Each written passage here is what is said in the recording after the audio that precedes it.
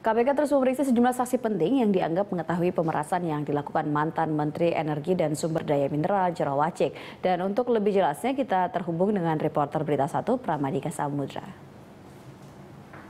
Ya, Prama, apa yang disampaikan oleh Sultan Batugana sebelum masuk ke ruang pemeriksaan KPK? Ya, Mi, sesaat sebelum memasuki gedung KPK, Sultan sempat menyapa para awak, media yang telah menunggunya dan ia mengakui bahwa kedatangannya kali ini merupakan sebagai saksi atas kasus pemerasan yang dilakukan oleh Menteri ESDM Jero Wacik. Dan ketika ditanya apakah ia mengetahui adanya pemerasan yang dilakukan di Kementerian ESDM, ia mengaku tidak tahu menau. Ia juga mengaku tidak tahu menau jika adanya aliran dana dari Kementerian ESDM ke Komisi 7 di mana saat itu Sultan sebagai ketua Komisi 7 dan ia juga meyakinkan bahwa tidak ada bagi-bagi proyek di dalam Komisi 7 dan uh, Sultan juga uh, mengaku bahwa hingga saat ini ia tidak mengetahui apa informasi yang ingin diketahui dari KPK uh, eh, dari dirinya. Dan memang seperti yang diketahui Sultan sendiri adalah sebagai tersangka atas kasus suap ya, di SKK Migas pada persidangan mantan Kepala SKK Migas Rudi Rubiandi ini namanya disebut telah e, menerima suap dan memiliki tiga peran penting dalam tindak pidana korupsi yang dilakukannya. Yang pertama adalah menitip perusahaannya sendiri yaitu PT Timas Suplindo untuk memenangkan sejumlah tender di SKK Migas dan yang kedua adalah menerima THR dari SKK Migas senilai 200 ribu dolar Amerika dan yang ketiga adalah menerima uang pelicin sebagai atau untuk pengesahan APBNP. Dan Sultan sendiri hingga kini belum mendapatkan status yang jelas dari KPK karena penyidikan KPK penyidik KPK sendiri masih dalam proses penyidikan terhadap kasus suap yang dilakukan oleh Sultan Batugana. Ami. Ya, Brahma, selain Sultan Batugana, apakah ada pihak-pihak lain yang juga diperiksa oleh KPK hari ini?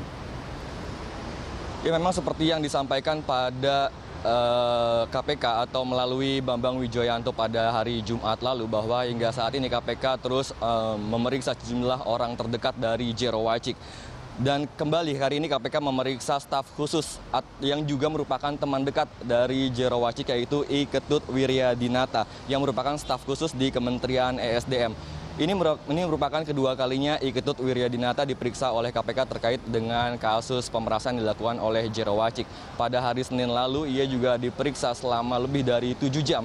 Dan pada pagi tadi ia tidak memberikan keterangan sedikitpun kepada awak media. Ia hanya mengatakan bahwa eh, kedatangannya kali ini belum dipastikan apa yang ingin diketahui oleh uh, eh, KPK darinya atau pemeriksaan tambahan seperti apa yang ingin dilakukan oleh KPK. Namun pada hari Senin lalu ia memang dia di, mengaku ditanyakan sejumlah uh, pertanyaan oleh penyidik KPK terkait dengan uh, tugas pokok dan fungsinya sebagai staf khusus di Kementerian ESDM. Ia pun mengaku tidak mengetahui adanya pemerasan yang dilakukan oleh Jero Wacik dan ia pun tidak mengetahui jika Jero Wacik pernah mengeluhkan dana operasional menteri yang yang menurutnya dirasa kurang Memang uh, seperti yang kita ketahui bahwa dana operasional menteri senilai 120 juta per bulan ini menurut KPK dirasa kurang oleh Jerawacik karena itulah Jerawacik memainkan sejumlah anggaran di Kementerian ESDM untuk menambahkan dana operasional menteri.